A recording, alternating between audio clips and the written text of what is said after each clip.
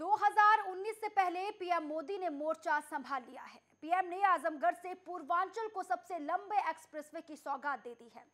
बनने से पहले ही ये एक्सप्रेसवे सियासत का एक्सप्रेसवे बन गया है। पूर्व सीएम अखिलेश ने इसे सपा सरकार की सोच बताया तो सीएम ने अखिलेश पर पलटवार किया।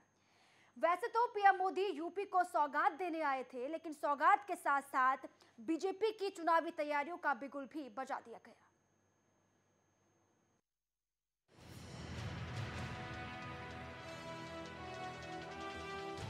2019 में किसे सत्ता मिलेगी? कौन देश का बादशाह होगा? ये तो जनता तय करेगी, लेकिन राजनीतिक पार्टियों की अपनी कोशिशें ज़ोर मारने लगी हैं।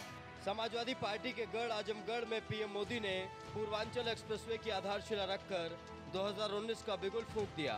मौका तो एक्सप्रेसवे के शिलान्यास का था, लेकिन पीएम ने यहाँ से विरोधियों पर जमकर वार किया। जिस सीट पर बीजेपी कभी खुद नहीं जीत पाई, उसी सीट से पीएम ने सपा बसपा के गठजोड़ पर हमला बोला। उन्होंने कहा कि जिन्हें एक दूसरे की शक्ल पसंद नहीं थी, वो अब साथ चल रहे हैं। मोदी मोदी जप रहे हैं। कभी एक दूसरे को देखना नहीं चाहते थे, पसंद नहीं करते थे, वो अब एक साथ।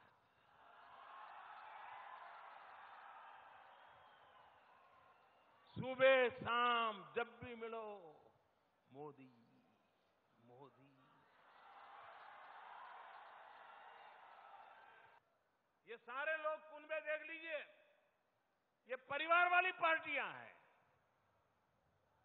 ये सारी परिवार पार्टियाँ मिलकर के अब आपके विकास को रोकने पर तुले हुए हैं।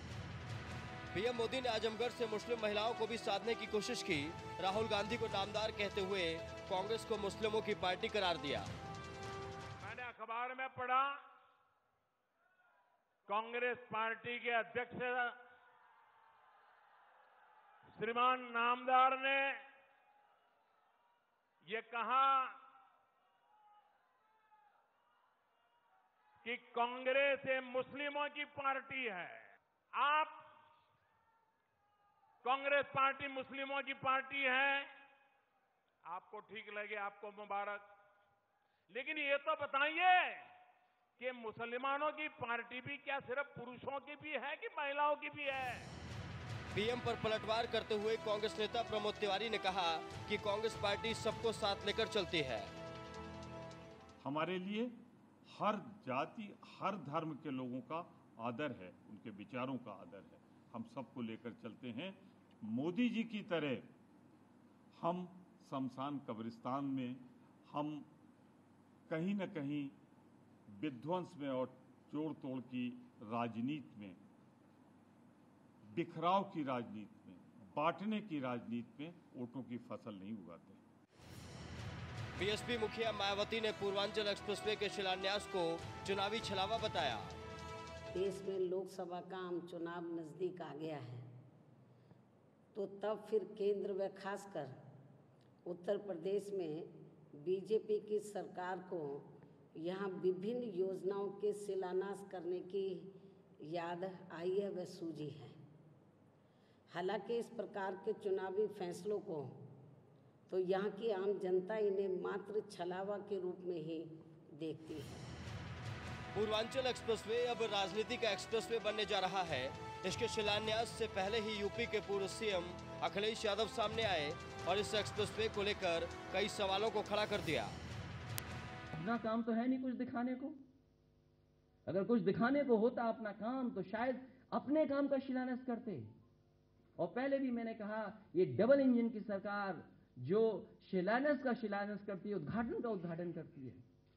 हमें तो ताज्जुब इस बात का आता है कि हम दूसरे की चीज़ का अगर उद्घाटन करें तो शायद हमारे मन में इतना संकोच होगा शायद हम न फेस कर पाए आपको अखिलेश यादव पर पलटवार करते हुए सीएम आदित्यनाथ ने कहा कि एक्सप्रेसवे ना तो समाजवाद का होता है ना कांग्रेस का ये जनता का होता है। इस पूर्वांचल एक्सप्रेस वे के शिलान्यास की बात आज की जा रही है कि एक, एक इसका शिलान्यास पहले हो चुका है। ये सीधे सीधे जन भावनाओं के साथ खिलवाड़ है। एक्सप्रेस वे न समाजवाद का होता है, न कांग्रेस का होता है।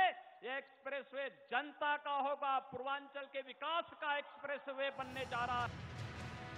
पूर्वांचल एक्सप्रेसवे का उद्घाटन पूरी तरह से चुनावी तैयारियों की तरफ़ दिखाई दिया। यहाँ एक्सप्रेसवे से ज़्यादा गुणगान, सरकार के कामकाज का था। विपक्ष पर हमला था और पूर्वांचल के एक बड़े वोट बैंक पर नज़र थी। ये एक्सप्रेसवे बीजेपी को कितना फ़ायदा देगा, ये तो आने वाला वक्त बताएगा। लेकिन कहीं ना कहीं मोदी ने आजमगढ़ से मिशन 2019 का बिगुल फूंक दिया है। Bureau report, national voice.